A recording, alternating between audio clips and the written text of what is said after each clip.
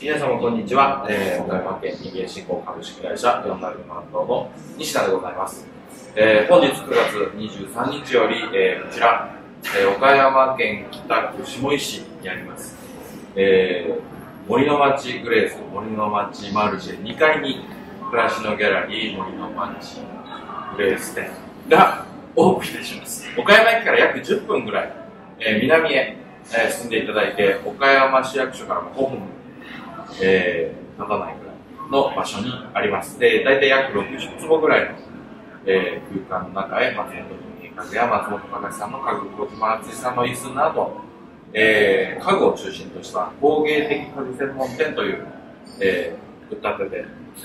えー、新しくお店を始めさせていただきます。で、当面は、えー、定休日がございません。朝11時から晩が施設としては9時までになると思うんですが、私どもは8時で閉店をさせていただきます。えー、西野と、あとは、